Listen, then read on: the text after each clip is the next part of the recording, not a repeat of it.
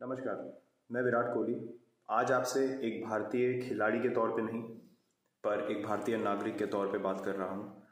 जो कुछ मैंने पिछले कुछ दिनों में देखा, लोगों की भीड़, सड़कों पे, झुंड में घूमते लोग, कर्फ्यू का पालन ना करना लॉकडाउन का पालन ना करना, ये सब देख के मुझे ऐसा लगा कि हम इस लड़ाई को बहुत ही साधारण तरीके से देख रहे हैं।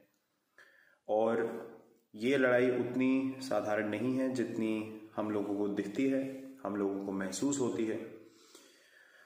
तो मेरी सबसे यही एक रिक्वेस्ट है आज कि please please please social distancing का पालन करें, उसको फॉलो करें।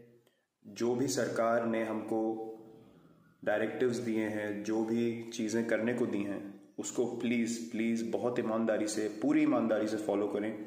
ये सोचें कि अगर आपके परिवार में किसी को भी कोई भी प्रॉब्लम हो जाए आपकी लापरवाही की वजह से तो आपको कैसा महसूस होगा?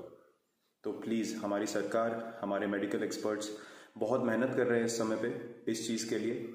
और ये चीज़ तभी सक्सेसफुल हो पाएगी जब हम लोग भारतीय नागरिक होके अपनी ज़िम्मेदारी पूरी निभाएँ।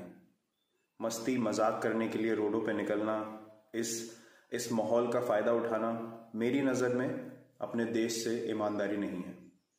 तो अभी मैं आप लोगों के साथ मिलकर ये चीज़ ठीक होने देखना चाहता हूँ और मैं आप लोगों से विनती करता हूँ कि प्लीज़ जो भी सरकार हमें कह रही है करने को, उस चीज़ का पूरा पालन करें।